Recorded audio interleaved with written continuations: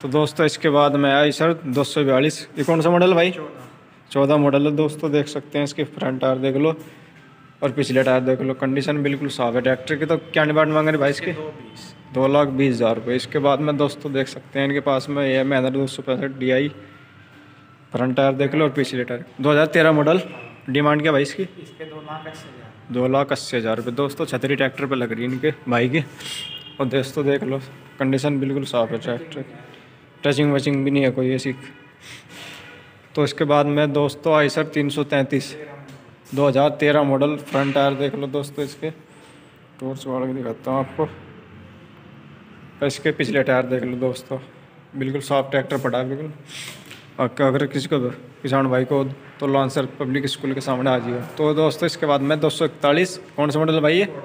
दो हज़ार सोलह मॉडल फ्रंट टायर देख लो दोस्तों, इसके पिछले टायर देख लो।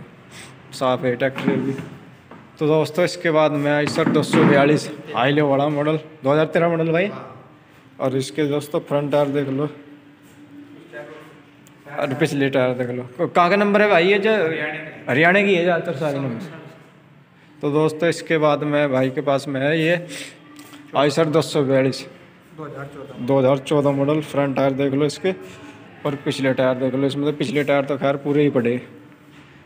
हाई लो वाला ट्रैक्टर है। और इसकी बात करें भाई प्राइस की? दो लाख चालीस हज़ार रुपये तो दोस्तों इसके बाद में भी एक और आई सर है भाई के पास में क्योंकि हमारे जो क्षेत्र है वो।